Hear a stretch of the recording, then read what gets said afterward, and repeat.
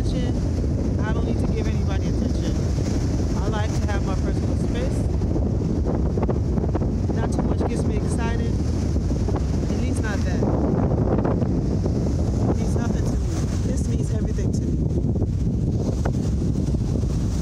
I love nature. People need a lot of attention.